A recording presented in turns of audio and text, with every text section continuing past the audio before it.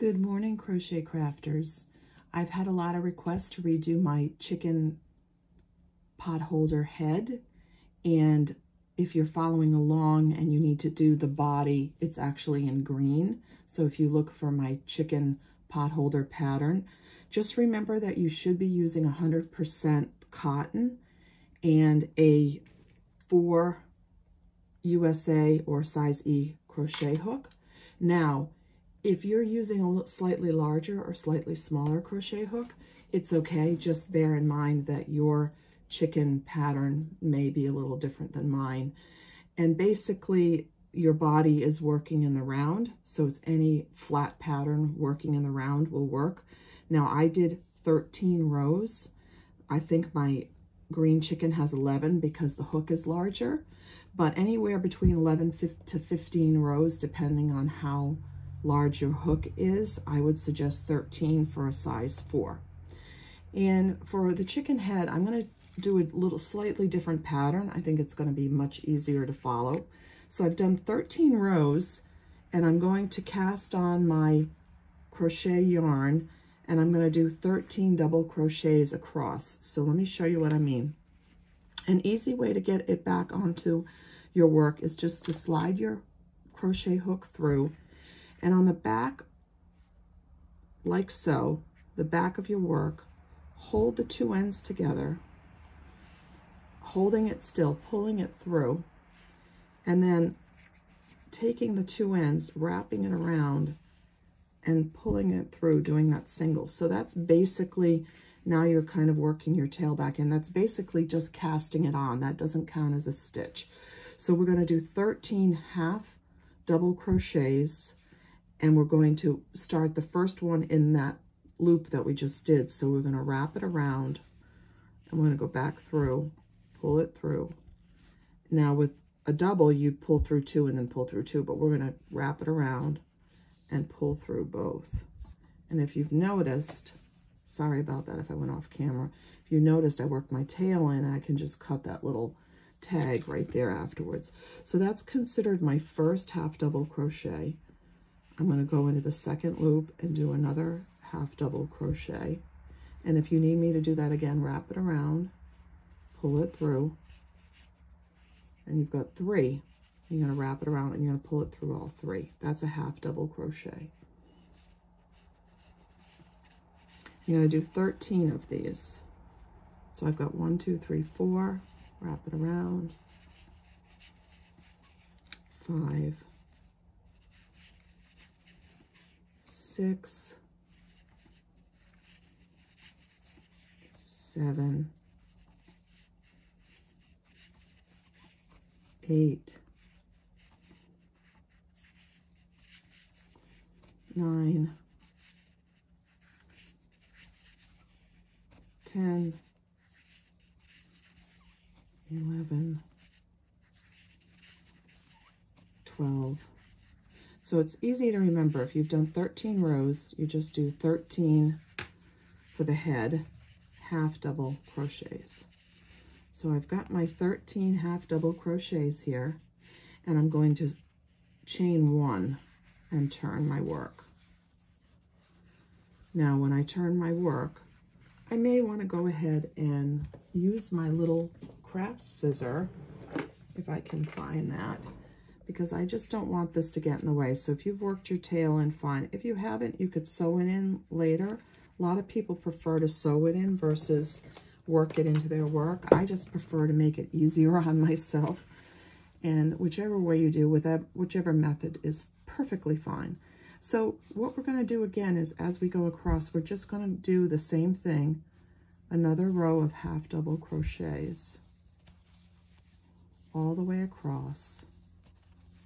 And again, this is a little different pattern for the head. I just believe that because it's an amigurumi pot holder and because the style is a single crochet, that I think that this pattern for the head is just going to be easier to follow and, and look a little cleaner as well.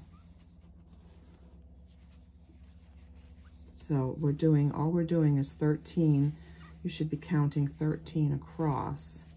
And then we're going to do what's called a half double crochet reduction. And it's very similar to just the single crochet reduction in stitches. And just make sure when you go get to that very last one, you pick up the front and back loop because it's very tight and sometimes you can miss that front and back loop. It's easy to do. I've done it and I'm experienced. There you go. So you do a single, just a single crochet to finish off and you turn your work again.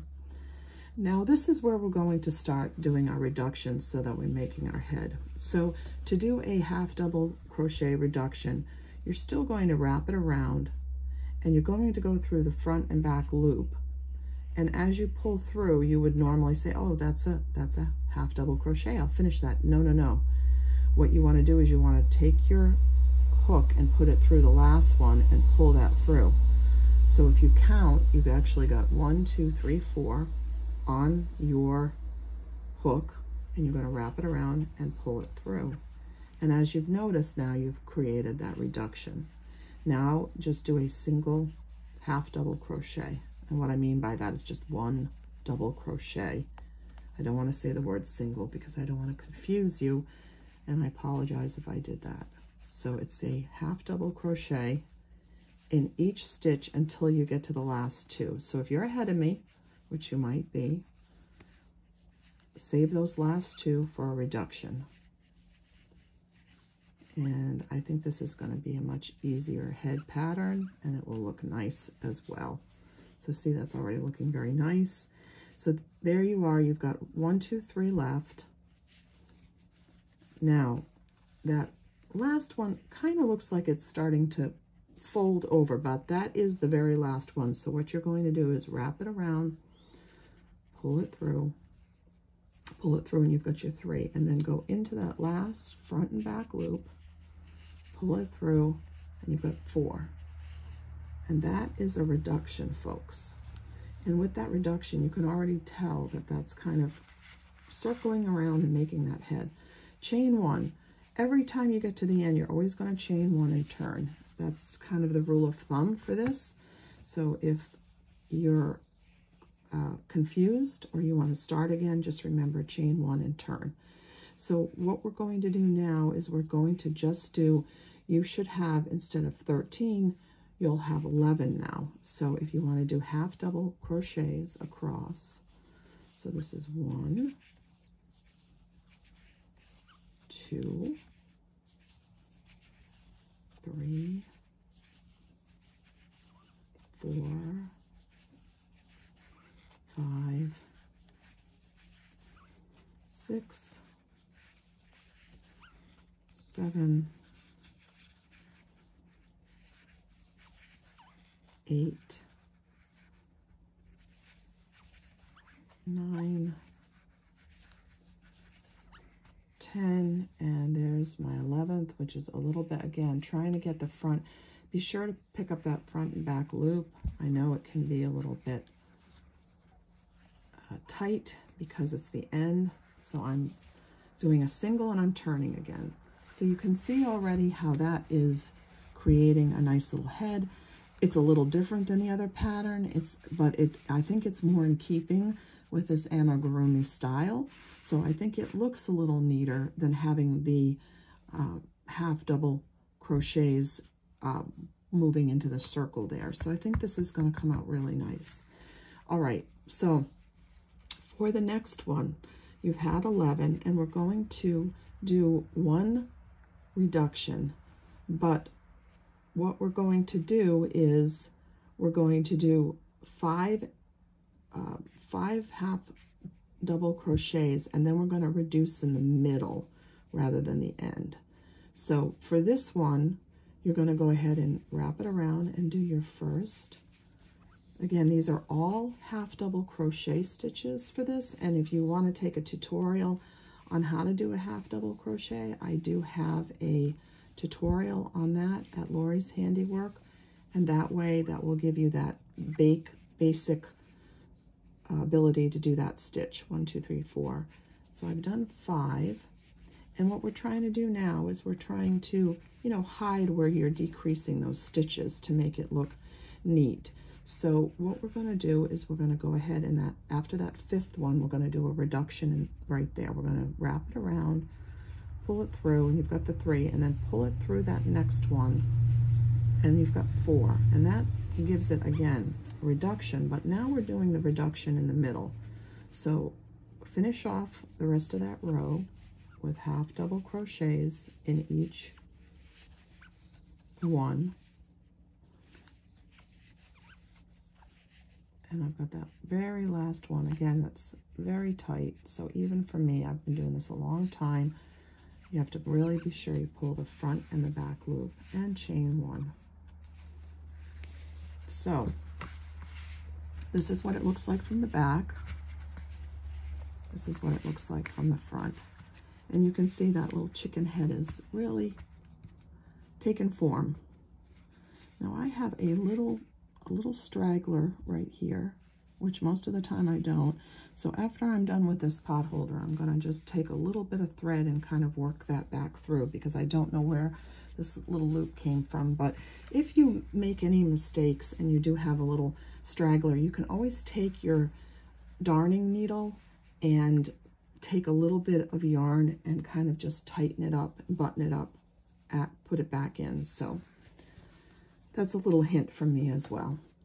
All right, so what we're going to do is we decrease that stitch in the middle. So we are going to do a half double crochet after you hopefully you've chained one and you've turned your work. We're going to do a half double crochet all the way, way across. And we're not reducing on every single line because you'd have a pinhead at the end if we did that. So we want to make a slow decrease so we're actually making a nice sort of, uh, not round, I wouldn't say round, but it's almost round, chicken head where you're not having, and that, so the yarn here is four strands, and you're either working with four strands or two strands, and sometimes with cotton yarn, if it sticks or it's hot out. It's very humid here today. So what's happening is I'm having a little bit of a challenge with the yarn. And you may too. So just remember, if you make a mistake, don't worry about it. Just redo it. Take it out, redo it. This is not a race. A lot of people think, oh, I gotta hurry up and do this because she's just pause the video stopped the video and I had a tight, tight stitch there. I made that too tight at the end. So chain one, there you go. It's not looking too much like a pinhead yet.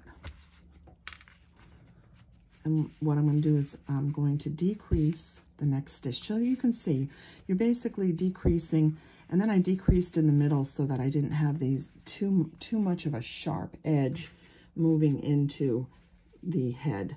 So what I'm going to do here is I'm going to decrease again. I'm going to wrap around and I'm going to go into my first one, come back out, go into my second one, and I've got four. That's a, that's a double crochet decrease. And there you go. That's one. And now I'm just going to do a single, not a single, just a double, half double crochet. These are all half double crochets throughout. So if I've said anything like single or double, it's a half double crochet that we're doing to create this head.